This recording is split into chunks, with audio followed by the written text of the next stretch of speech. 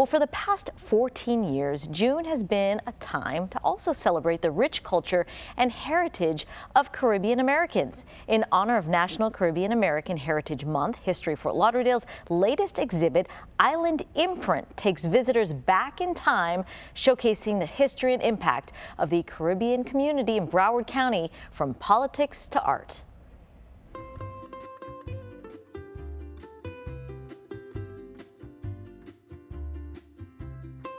The Island Imprint as an exhibition is a Caribbean American Heritage Month installation that we've done at History Fort Lauderdale.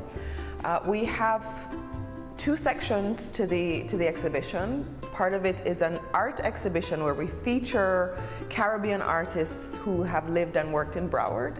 And the other side is where we take a historical look at the Caribbean American community in Broward County. So the exhibit is our main room in the New River Inn, which is the 1905 Railroad Hotel. I really enjoy featuring these heritage exhibits because it gives us an opportunity to meet those cultures, which I have found are so much more in tune with the ecology of South Florida and preserving that for all people. We have found four awesome artists. Um, behind me in the background here is the work of Paul Campbell, who is one of our Jamaican artists. And then we have Sonia Sanchez Arias, who does these spectacular photos with her iPhone. We have uh, Sylvia Lizama, who's a Cuban artist. And then uh, Carl Jerry Craig has another set of uh, artwork on the walls in here. These three paintings are from a series called Mandala.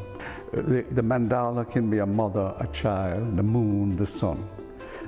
And the textures, as you can see, they're slightly built up and I've scored into them so that I get that feeling of like ripples in water when you drop a stone in and it opens up and grows. And I feel that when I'm painting.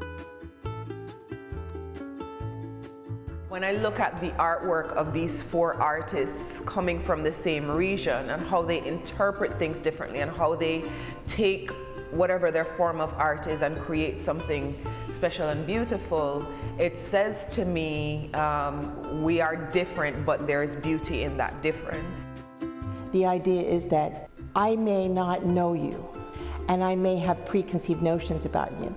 But once I have the opportunity to eat your food and see your art and talk to you a little bit, then, then we're human beings together.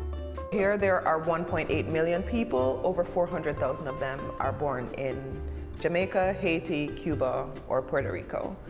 Uh, and that doesn't include the, the Bahamians and the Trinidadians and, and all the other Caribbean countries. So we really have a strong presence here. Jamaicans and Caribbean nationals continue to excel and this exhibition shows it. And I think the more we understand the role that we've played, it's a greater sense of pride that we will continue to exhibit. The influence of us is everywhere and I want people to appreciate that beyond the plate, beyond the sand and the sun and the beaches and understand that we are valuable, we are valuable contributors to the fabric of American society, starting right here where we are in Broward County. And Island Imprint, a history of the Caribbean community in Broward County, will be at the New River Inn at History Fort Lauderdale through Saturday, June 29th. It is free for museum members, military, and children ages 6 and under. And for more info, you can visit historyfortlauderdale.org slash museum. As always, we'll have this link on our Facebook page at Your South FL.